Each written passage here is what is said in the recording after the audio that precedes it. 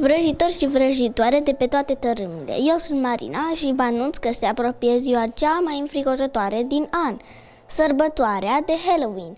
31 octombrie este zi de mare sărbătoare, ultima zi din an, Conform calendarului celtic, azi e sărbătoarea recoltelor și a făcurilor sacre, tot de Halloween. Sculptăm coloveci și îi transformăm în felinare înfricoșătoare, iar cei mai mici se consumează în fantome vrășitoare și tot felul de monștri pentru a spiria spiritele rele și pentru a ca recoltele să fie numai bune de mâncat. Și nu uitați, copiii primesc tot felul de bunătăți și dulciuri pentru că este Halloween.